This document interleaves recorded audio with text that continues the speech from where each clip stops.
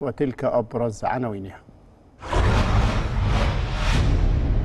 مقالي ومقال العدل يا ربطة. والغربال التلاعب بالحقائق. وبعضمة لسانه هكذا يكون حب الوطن. والشموع الحمراء عن طلعت حرب باشا. لكن أسرار الملك عن سيد صالح. وأخيرا مجلتنا من أربعين سنة. ده محتوى حلقة النهاردة لكن عايز بداية أقول لكم النهاردة الأهلي استأنف تدريباته خلال بعد فترة التوقف خمس ست أيام. مستر كولر رجع امبارح النهاردة شارك في قيادة التمرين. زي ما حضراتكم شايفين.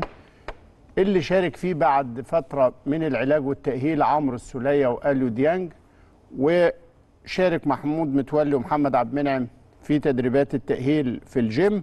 وبكرة الفريق إن شاء الله يتمرن على فترتين. يعني آه، كانت راحة يعني محسوبة أيام يعني. خمس علشان. إيه؟ خمس أيام. آه، انتهز فيها الجهاز الفني فرصة توقف النشاط المحلي عشان المنتخب. وكله بيترقب. دلوقتي أصبح النادي الأهلي يعني حاجة حلوة وحاجة يعني نخلي بالنا منها.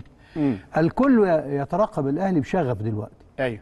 عايز يعرف هيكمل كده آه، هي- هي- هيتطور هيتوقف آه، بإذن الله نكمل كده. ونتطور.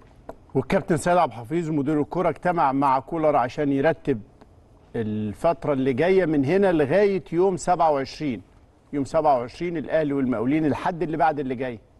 الأهلي والمقاولين دور الثمانية لكأس مصر. هيسبقوا بيوم الزمالك بيكون بيلعب مع المصري والبنك الأهلي بيلعب مع بيراميدز. الأهلي بإذن الله تعالى الأهلي والمقاولين الفائز وإن شاء الله يكون الأهلي هيلاعب سموحة في الدور قبل النهائي.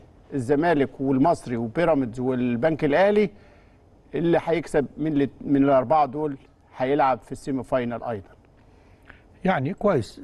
كل ما بتخلص آه، مسابقة بدري بدري كده بيكون أفضل كفاية بقى تداخل في المواسم.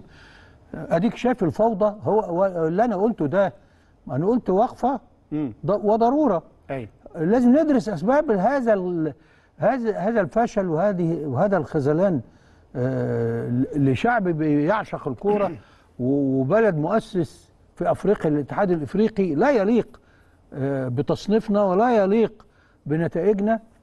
والنهاردة لما يصل الأمر إلى الناشئين الأمر يصبح أكثر ازعاجا. آه مؤشرات مستقبل آه، صعبة. ولكن أنا الذي أراه لا يمكن المناخ اللي إحنا فيه ده يفرز عمل صالح ابدا. العشوائية والفوضى والانفلات آه، الحقائق والعبث في الحقائق آه، شيء مرعب. صحيح.